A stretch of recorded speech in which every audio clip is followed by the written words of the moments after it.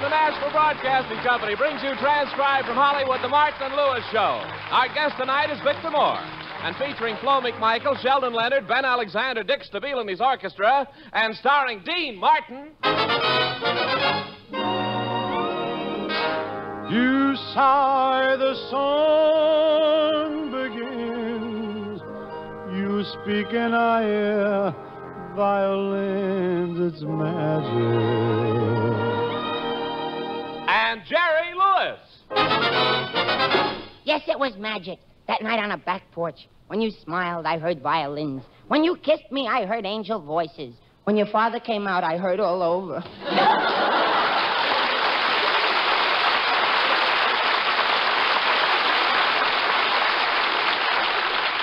Well, last week, Dean and Jerry opened an engagement at Ciro's nightclub in Hollywood, and business has been sensational. That started them thinking, and now we find them entangled in a scheme to buy a nightclub of their own. It all started when they were having breakfast in their apartment the other morning. I don't feel so well. I think maybe something's wrong with me. Working hard, doing two shows every night. You should take better care of yourself. Morning, boys. Morning. Soapy, what brings you all the way over from next door at this time of the day? Well, I uh, just wanted to grab a gander at the sporting pages. You know, I had a bad break this morning. My my neighbor on the other side of the hall, he got up early and he beat me to his paper. Why you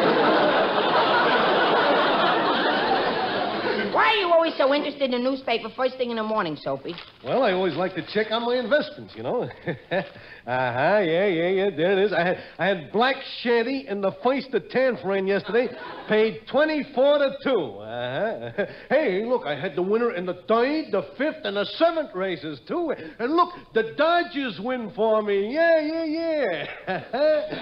and I had a fin on the Green Panther and the wrestling at the stadium. Yes, sir. How'd you come out on the day, Soapy?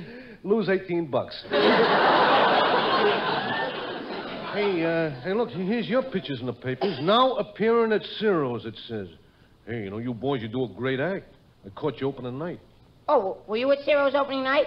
Oh, yeah, yeah. Where, where, where were you sitting? I had a very cheap table. It was in no man's land. No man's land? Yeah, yeah. The table between Hedda and Louella.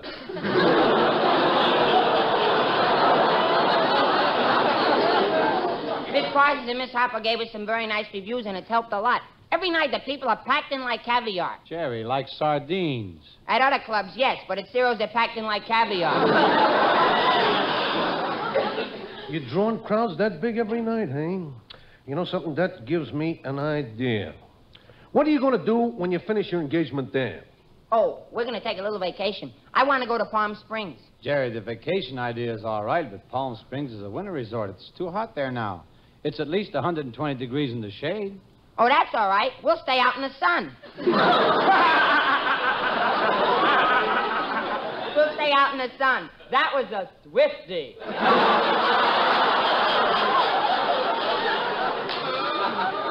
Hey, listen to me, listen. You boys won't want to go away anywhere when you hear this sensational idea of mine. Oh, mine. no, Soapy. You don't get a penny out of us. Oh, wait a minute, my boy. Courage. Where would Robert Fulton be today if he had been afraid to say those magic words, let him eat cake? Huh?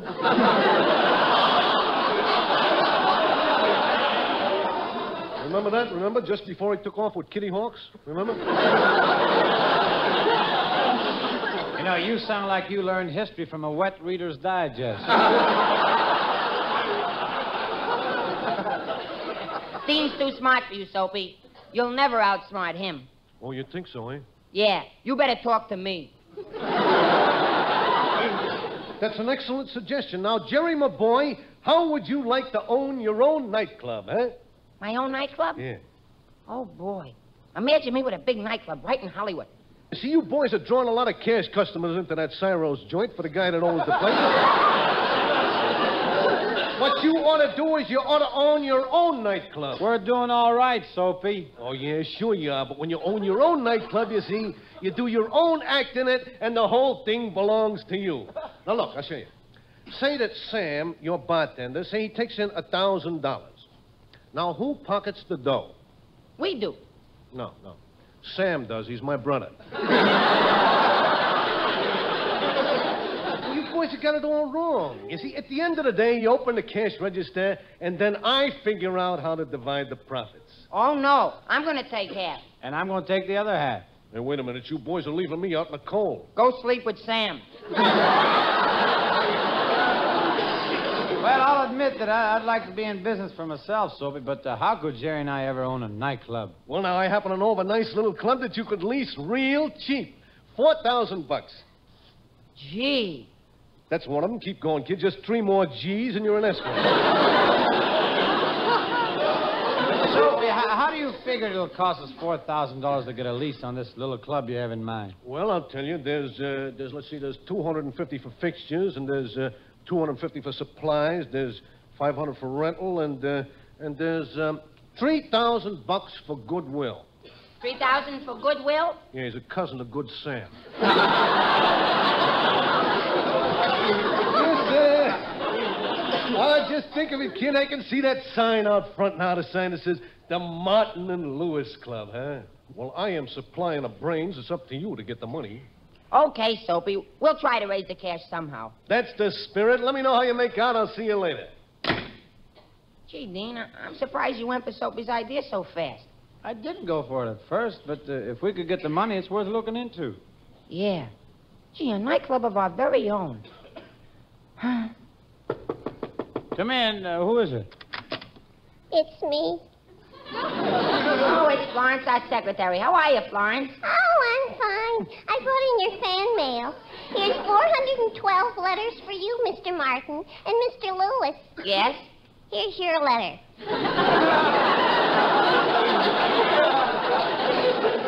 Only one letter for me. And Dean gets 412. Gee, every day this happens. Dean gets 412 letters and I get one. Well, Well, I'm getting sick of it, do you hear? Sick, sick, sick.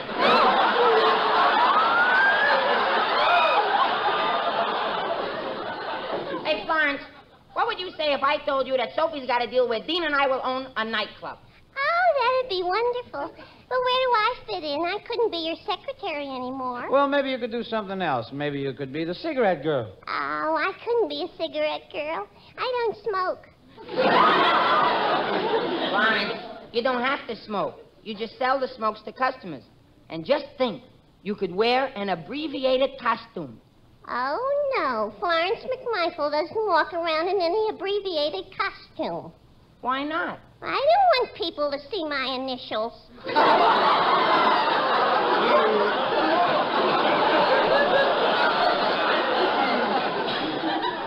right, Florence, you can wear any costume you want. I wonder if I could really sell cigarettes. Let's see, how does that slogan go again? Call for Max Morris. Call for Max Morris. Max Morris? Yeah, he's a nephew of Sam. Florence, you don't seem to understand what we're talking about at all. Well, I don't know much about nightclubs. I've only been to one in my whole life. Really? What one was that? Florentine Gardens? Mocambo? No, it was that other one. Slapsy Messy's. Flopsy Messies.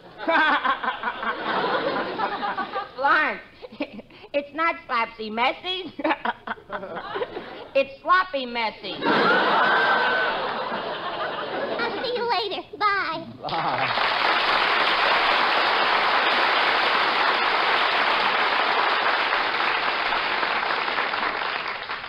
Look, where do people go when they need money? To a loan company. Hey, that's not a bad idea, Jerry. I'll tell you what. You look up the address of the nearest loan company, and meanwhile, I'll just run over one of the songs I'm going to sing tonight at Ciro's. How's that? Oh, that would be just cardinal. Sing it, man.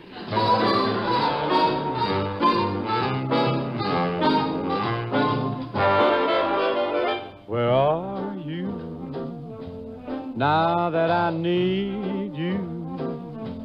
Now that I want you so badly, I could cry. Where are you? Where did fate lead you? Funny how I dreamed you'd still be standing by. I had you at my beck and call. I called you any time at all. I guess I took too much for granted. I never thought I'd lie awake and sigh, where are you? Now that I need you, now that I love you so madly, I could die. I had you at my beck and call. I called you any time at all. I guess I took too much for granted. I never thought I'd lie awake and sigh, where are you? Now that I need you, now that I love you so madly, I could die.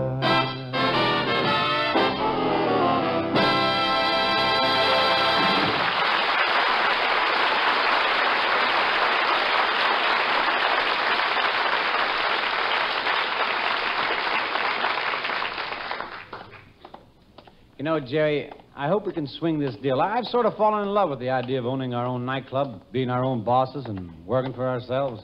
Yeah, me too. I can hardly wait to get started. Well, here's the loan company office. The confidential loan company. Let's go in. Uh, pardon me, mister. Are you connected with the confidential loan company? That's right. Come right into my private office.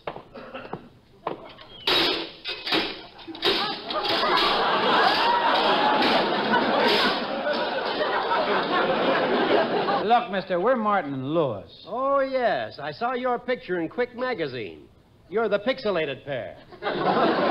Well, that's right. Let me handle this, Dean. Look, mister, I'll come right to the point. I'm Jerry Lewis, the comedian, so let's snap it right up. What do you say? I'll just take $4,000. Well, let's see. Anything of value in the way of assets? Well, I got a life insurance policy for $1,000. How much premium do you pay? $1,000 a year. Jerry, you pay a $1,000 a year for a $1,000 worth of life insurance? Yeah. Hey, You're in a tough spot. You lose money if you die, and you can't afford to go on living. I'm afraid your insurance isn't worth very much. Tell you what, why don't you take out a note for the money and get a co-signer to guarantee it for you? Oh, who signed it? A co-signer. Do you happen to know a respectable party? No, but I can take you to one tonight where they play spin the bottle. I'm sure you won't have any trouble finding somebody. Look, my files are full of co-signed notes. Here's one co-signed by the Second National Bank. Here's another co-signed by Victor Moore. And here's I another. get the idea, mister. Thanks a lot. I think I know where I can get a cosigner. Come on, Dean. So long. Jerry, what was the idea of rushing me out of there? Didn't you hear him, Dean? He said Victor Moore co-signed one of those notes. What about it? Well, he's an actor. He's in show business. I bet he'll help us out. Yeah, it might work at that, Jerry. Come on, we can't lose anything by uh, going to see him.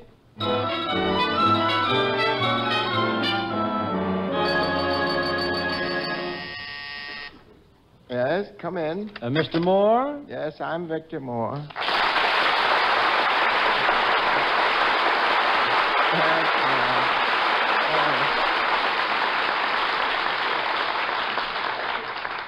Uh, say, will you excuse me a moment? I'm on the telephone. Well, sure. Go right ahead.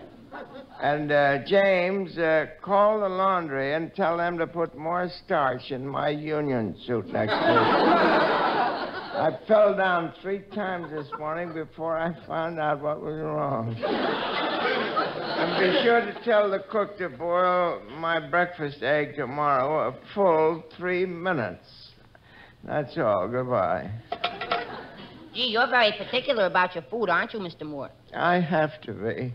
Our eggs here are so fresh that when the cook doesn't boil them long enough, it's nip and tuck who eats who.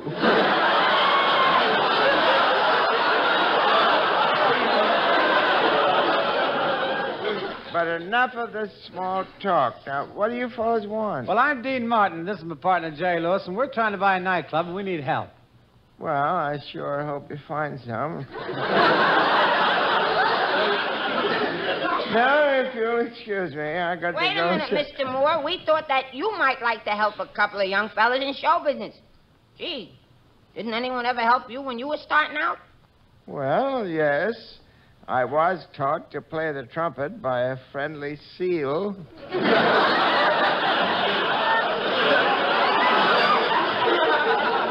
Oh, come on, Mr. Moore. You must be kidding us. Yes, of course I was.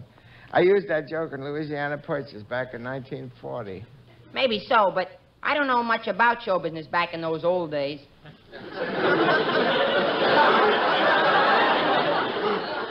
Mr. Moore, I, I really didn't mean anything by that. All I meant was that you've been a big star for years.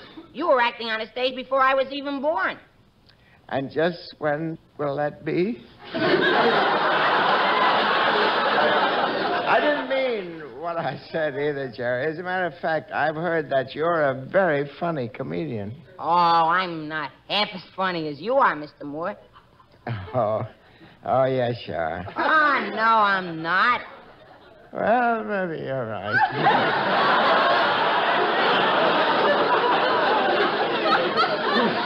Try to be nice to a guy and he kills you.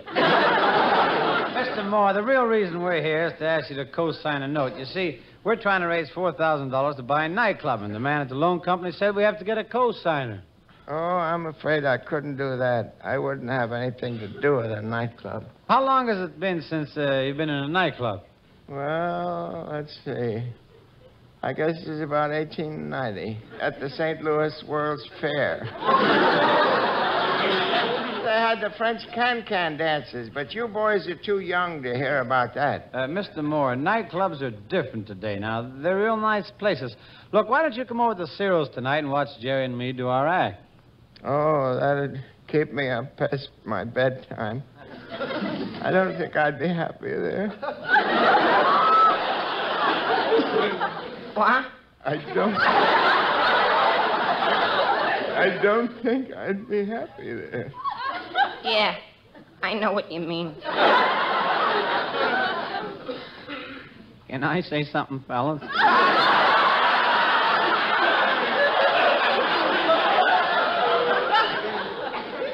Mr. Moore, I'm sorry if you don't like nightclubs, but after all, you want to be fair about this, don't you?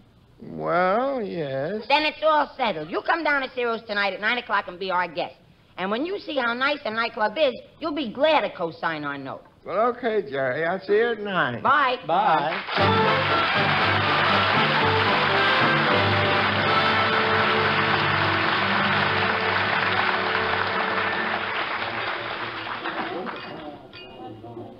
Hey, Florence, this was a good idea I had getting you a job as a cigarette girl here at Ciro's. When we get our own club, you'll know all about it then. Florence? Hey, Florence.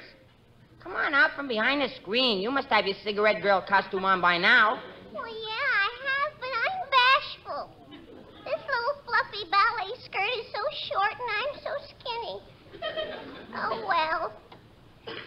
Well, what do you think? Florence, you look great. Just like a real cigarette girl. Well, I think I look more like somebody stuck a pipe cleaner through a Dr. Scholl's foot pad. Ah, you look fine. You'll do great selling cigarettes, Florence. Well, I'll try, but I'm worried. What if I run into some drunk who's fallen on the floor? Oh, that's easy. Just sell him a lucky so he can feel his level best. Tell him a lucky so he can feel his level best. I'll be all right. Well, here I go.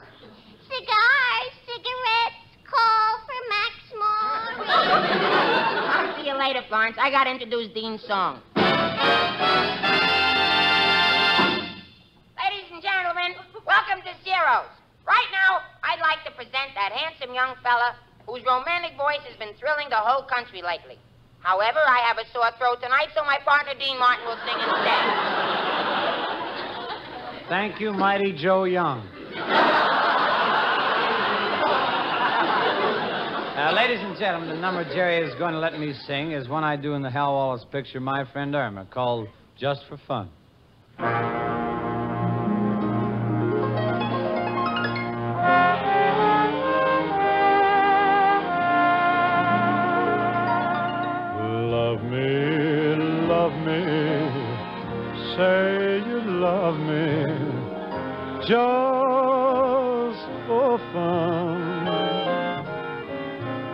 Softly sigh it Try it, try it, just for fun.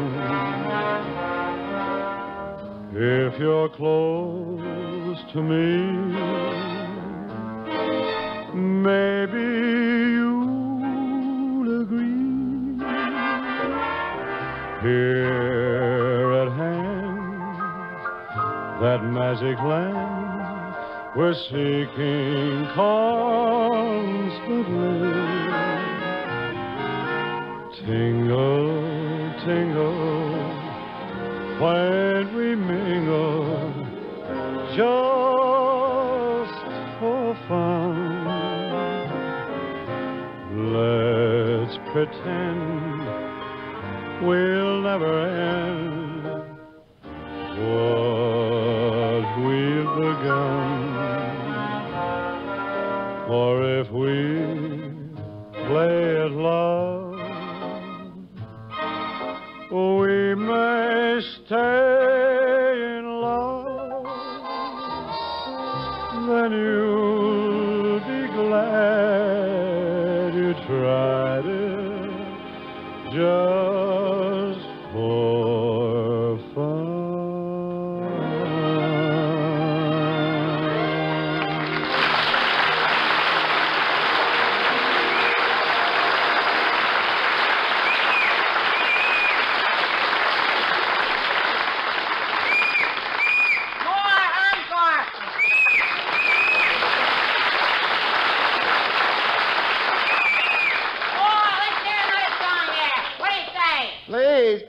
young man, you're stirring up a draft. Hi, Mr. Moore. It's me, Jerry Lewis. Hey, what are you doing sitting back here? We had a table reserved for you down front. I asked for this table. I have to be close to the wall so I can plug in my heating pad. How do you like nightclub so far? I'm not very happy. It's so crowded in here, and the lights are so low it isn't safe. Well, what do you mean? I bent over to tie my shoe, and the lady at the next table started buttering me.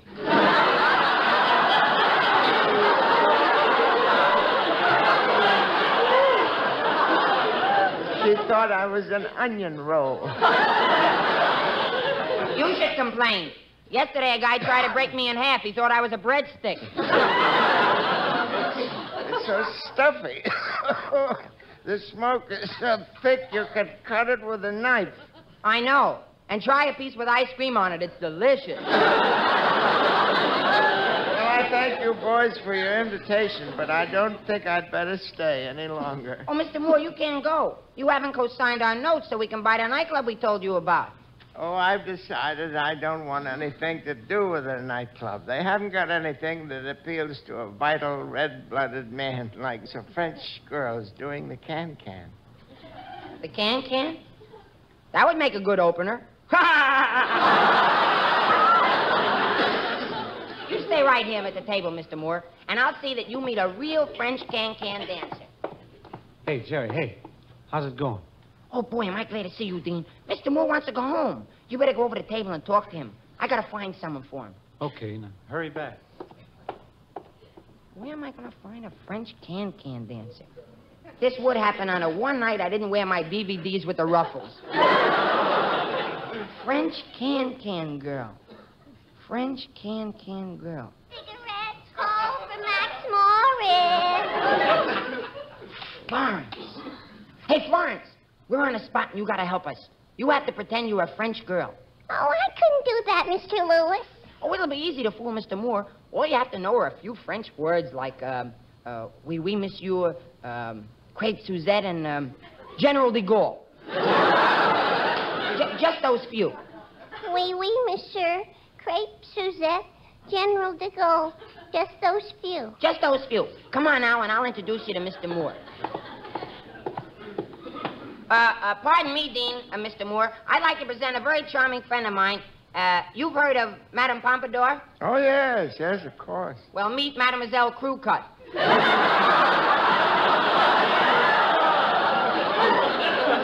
Well, of course, uh, Of course, we call her Mimi here at the club, Mr. Moore, and, and you know what? Mimi is just crazy about older men. Ah, I kiss your hand, mademoiselle. Ah, Mimi, can you imagine the boys here think I'm an older man? Oui, oui, monsieur.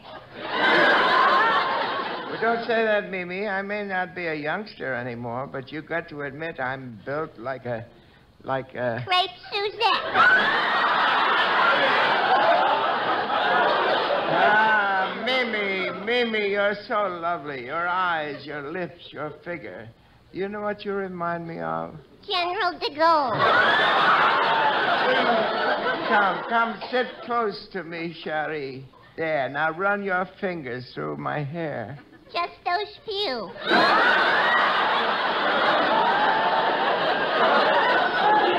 Just those few. Crepe Suzette. General de Gaulle. Oui, oui, monsieur.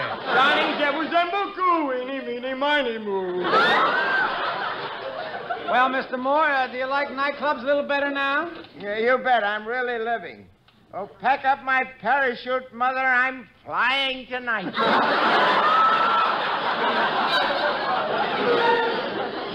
Florence, sn- snuggle up to him a little closer. Florence, I thought you said her name was. Mimi. General de Gaulle. Crepe Suzette.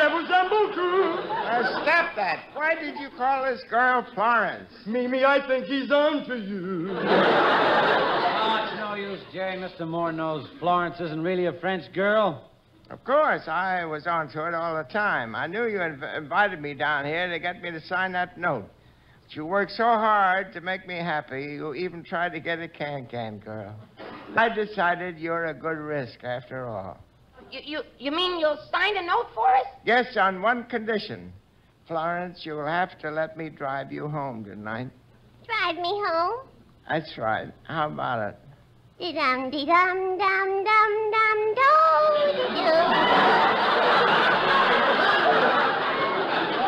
Okay, boys, give me that note. I'll co-sign it. There. Well, come on, Florence. I'm right with you. Oh, Mother, you better hurry with that parachute. I'm falling fast. Come on, boys. Bye, Mr. Moore, and thanks for everything.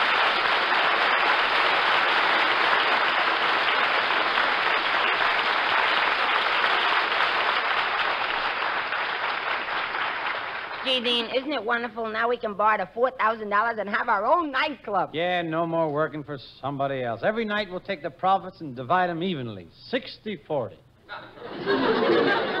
60 40. What happened to 50 50? Jerry, you don't even understand simple arithmetic. Look, how much is 50 50? 100? How much is 60 40? 100? See, it comes out the same. Oh, yeah, it does. Gee, Dean, I'm so silly. For a minute there, I thought you were trying to jip me. Good night. See you next week. Good night, Mom and Dad.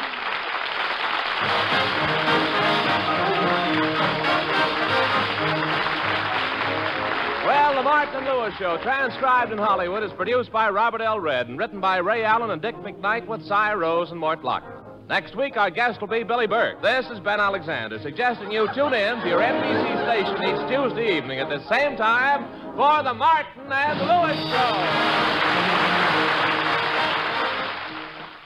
This is NBC, the national broadcasting company.